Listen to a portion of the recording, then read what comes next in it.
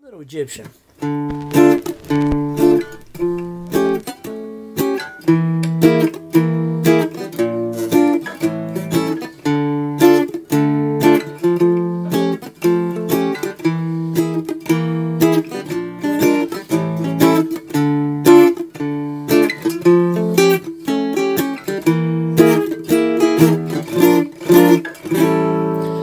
And here's a little bit of my Spanish.